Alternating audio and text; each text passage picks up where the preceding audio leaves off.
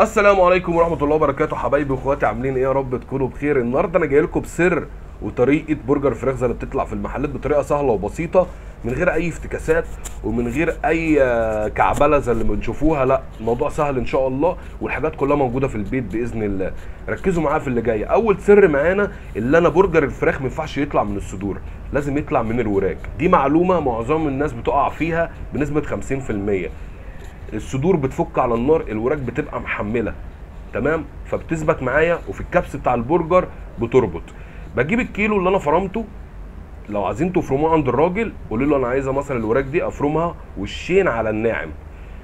وبعد ما أجيبها أصفيها في شنوار أو في مصفى أنزل المية اللي في الفراخ خالص ما أخليش فيها مية. وأجيب بسينة وأفك كده البرجر فراخ إيه؟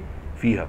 ما أخليهاش مكلكعة لأ افكها زي ما أنا بفكها كده. وبعد كده افردها جوه البسينه بالمنظر اللي أنتوا شايفينه ده. تاني سر معانا بصل الأحمر. هحط نص كيلو بصل أحمر مفروم. طب اشمعنى البصل الأحمر؟ عشان البصل الأحمر اولا مش حامي تاني حاجة taste ه بيبقى عالي في التتبيلة بيبقى جميل جدا.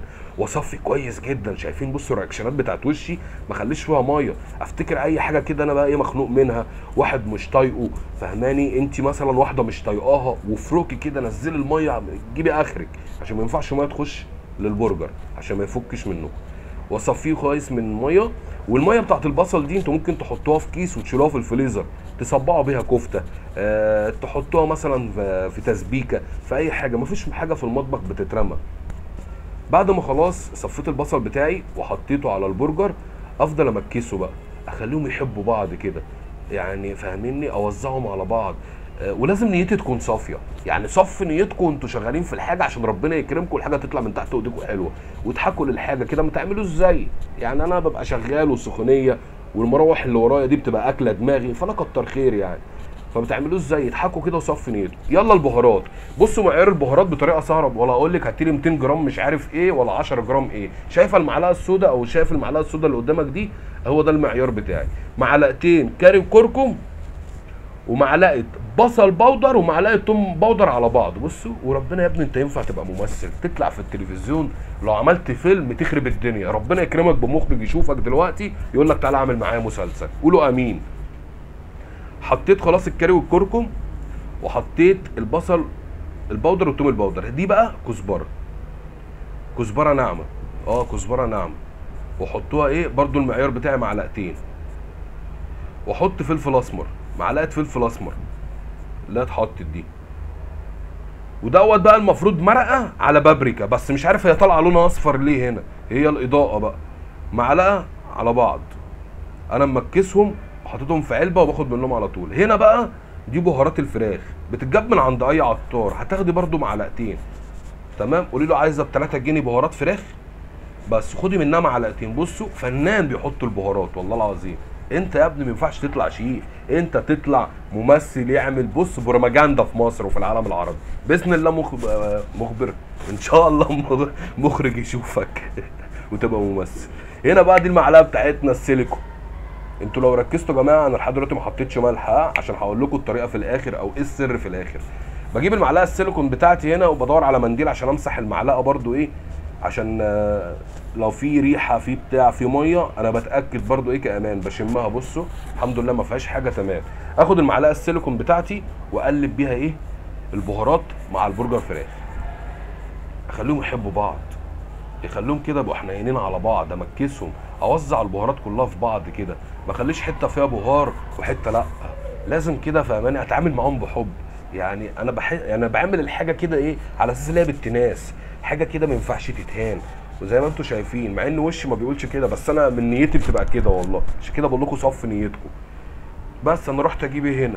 آه رحت أجيب البلانشا عشان الناس اللي بتسيب ال- التتبيلة كلها وتسيب ال- الفكرة اللي أنا عاملها ويقول لي يا شيف أنت إزاي بتشتغل على بلانشا غير بلانشا ماشي يا عم جبت لك بلانشا صفرا أهو. تمام؟ عشان ما تزعلش بلانشة الفراخ. اهدى يا عم سلطان مالك. أروح قلب البسيمة بقى على البلانشا ليه قلبتها؟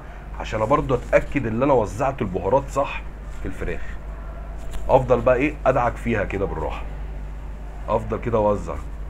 وأجيب بقى من ورا لقدام من قدام لورا كده إيه؟ لازم أتأكد إن أنا وزعت البهارات. مالك يا عم الشيف في إيه؟ آه لا الكلافزات اتقطعت. ياه معلش حاضر. تبقى فكرني بقى وأنا رايح المطعم أنزل أجيب لك إيه؟ الهيد التاني الهيد البلاستيك. بس هي الجلافزات والله بتبقى كويسة في التشغيل. حلو بس بتتقطع بسرعة. بس فداك يا عم الشيف اللي انت عايزه يا باشا والله. إحنا تحت أمرك. ماشي. عمال تحرق انت في جلافزات ربنا يستر محدش يتفرج عليك من صحاب المطعم والمديرين ويخصموا عليك نص كيس. لا دي ناس محترمة اللي أنا شغال معاهم والله العظيم. ويستاهلوا كل خير قسما بالله. وكفاية ان الواحد شغال بنفسه وحب معاهم. أمكس بقى إيه؟ في الفراخ. أجيب بقى من ورا لقدام ومن قدام لورا. فزي ما أنتم شايفين كده. آه الناس اللي بتقول يا شيف آه، هو انت بتقرب ناحية الأكل مش خايف العرق؟ عرق إيه يا باشا؟ انت شايفني في الكاميرا كده أما أنا بعيد عن البلانش أصلا. مش عارف أنا في ناس كده إيه بتخش تقول لي كومنتات تحرق دمي تسيب الموضوع كله ويمسكوا لي في حاجات تافهة. المهم أنا مكست بقى نسيبونا من الناس دي مكست خلاص الفراخ بتاعتي زي ما أنتم شايفينها كده. أول لما أحس إن خلاص العجينة بتلم معايا بصوا مفيش حاجة لازقة يبقى أنا كده الفراخ بتاعتي اتلمت كويس وأخدت البهارات بتاعتها كويسة. اشم بقى. أيوه على العظمه أيوه الله ينور يا شيف أنا شممها من هنا. أجيب بسينة نضيفة وآخد العجينة اللي أنا عملتها بتاعت البرجر فراخ كده كويس وأحطها بقى. العب يا شيفو العب. العب. والله العظيم حتة برجريه الله أكبر. باينة من شكلها. طب خلاص أنت هتضربها ولا إيه؟ ماشي أنا صابر معاك أهو. هنا بقى أنا بعت البسينة تاخد stretch آه اللي هو ال- الغطا البلاستيك. طب لو مفيش stretch لو عندك كيس نايلون حطي كده إيه حطيها في كيس نايلون حطيها كده مثلا لو هتحطيها بالبسينة أو بالكروانة حطيها في كيس وفرغي الهواء كويس جدا زي بالمنظر ده كده وحطيها في التلاجة نص ساعة. بص حتى أنا بص آه الساعة اهي نص ساعة. حاضر يا شيف. نص ساعة وجاي؟ ماشي. قفلت الفيديو رجعت لكم تاني هنا. الصلاة على النبي شيف الله أكبر. ورينا العظمة بقى. صلوا على النبي كده معايا يلا. هنا بقى بعد نص ساعة أنا ليه بقى حطيتها نص ساعة؟ عشان إحنا عندنا في المطبخ يقول لك إيه؟ بيخمر الاكل. تمام؟ التبريد بيبقى ليه عامل برضو في اي عجينة كفتة فراخ اي عجينة. لازم تحطيها تريح في الفريزر. الصلاة على النبي. بصوا والله العظيم عظمة. والله اللي هيجربها هيدعي لي. من غير تكلفة ومن غير أي حاجة. هنا بقى أنا حطيت الملح. إيه السر بقى اللي أنت تحط الملح يا شيف؟ أنا هقول لكم على السر برضو اللي محدش يعرفه وناس كتير بتقع فيها والأكل بيطلع ملح منها. أنا لو كنت حطيت الملح في الأول الملح ده بيدوب هيطلع معايا مالح وهيغطي على taste البهارات. صح؟ صح. أما أنا بعد ما خلاص اشرب البهارات للعجينة بتاعتي وأتأكد إن العجينة بتاعتي بتاعت الكفتة مثلا أو بتاعت البرجر شربت التتبيلة أحط الملح اللي أنا عايزه. عشان أنا هخلص وهكبسها على طول. وأقلل الملح بتاعي. يعني الملح طول ما هو قليل أنا أقدر أعالجه. وفي معظم الحاجات الملح بيتعالج الملح الزيادة بس بنسبة 50% يعني ممكن الملح يزيد مني أعالجه. في حاجات وحاجات في حاجات ما ينفعش. خلاص أنا حطيت الملح بتاعي وعجنتها. وتمام زي الفل زي الفل. أهم حاجة يا جماعة وأنا شغال ببقى قسما بالله. أفضل دايما أسمي الله. سموا الله وصفوا نيتكم من ناحيتي. ودوسوا like للفيديو و share للقناة وشير للفيديو عشان ربنا يكرمنا بقى إيه ونشوف اللي جاي. وبالمناسبة أنا الفيديو ده القناة بتاعتي اتوثقت. فباركولي بقى. طبعا ده بفضل الله ثم دعوة أبويا وأمي ثم دعوكم ودعمكم ليا. إن شاء الله بقى إيه مشكلة أدسن تتحل والمشكلة بتاعت آه، الدرع دي بقى. كده فاضل لنا الدرع بإذن الله. أنا هنا المفروض بقسط يعني بجيب حتة صغيرة في حوالي 200 جرام 225 عايزين تقللوا قللوا. عايزين تزودوا زودوا.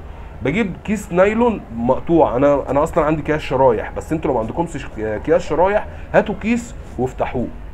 وده المكبس بتاع البرجر. أحط حتة الفراخ في النص في نص الكيس وأقفل عليها وأكبس.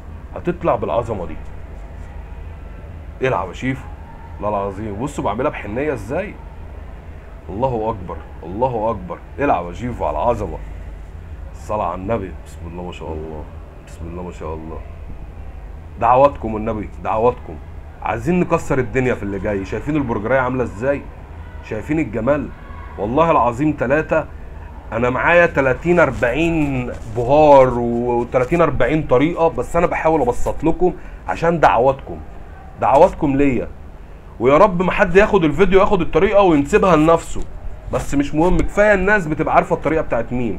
زي كده كبده بالسيفن الله أكبر ناس كتير أخدتها وبقت واللي يعيب عليا واللي مش عارف إيه بس مش مهم. اللي عند ربنا كتير. واللي يقول لك إحنا أول مرة نشوفه آه، كبده بالسيفن واللي يقول لك دي طريقتي. واللي يطلع آه، تقول لك آه، هو أنا جربتها بس ما طلعتش الفرق كتير. وهي أصلا ما كملتش الطريقة كاملة. وتاني حاجة أنا معلش أنا كفاية الناس اللي جربتها وبقت تدعي لي دي عندي بالدنيا. فمش مهم اللي عند ربنا كتير أنا بفيد اخواتي وحبايبي وكفاية دعوتكم محدش ضامن عمره. حتى لما الواحد ربنا يفتكره يلاقي اللي يدعي له يقول الله يرحمه قبل أي مال. يا رب أكون فدتكم يا رب ما أكونش طولت عليكم. وزي ما أنتم شايفين البرجرايه أهو الله أكبر. جربوها وإن شاء الله هتدعوا لي.